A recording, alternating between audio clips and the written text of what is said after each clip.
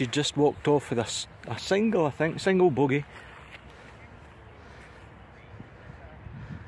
Corrine, second hole, Auchterarder Golf Club, driver. Creamed it.